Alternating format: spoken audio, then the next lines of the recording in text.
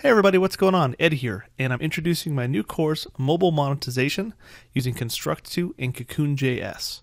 Uh, this is a very important course. I know there's lots of people out there that have questions and issues um, getting their Construct2 projects converted over to use on mobile, and then how to make money with ads.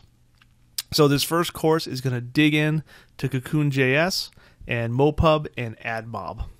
Uh, we're going to start out first by uh, talking about screen resolution and the best way to optimize your apps so that you can make full use of the full screen of any resolution of any device.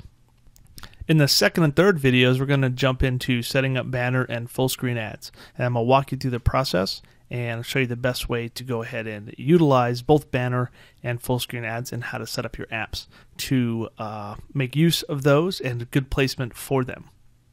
After that, we're going to jump into setting up a Mopub ad publishing account and then setting up an AdMob account and then what we need to do to link those two together. And I'll go into great detail um, of how Mopub works and how AdMob works as well.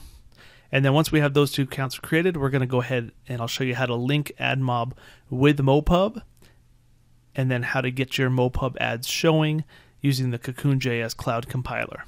And that will conclude the series. And hopefully, in no time, you'll be making some money with your apps.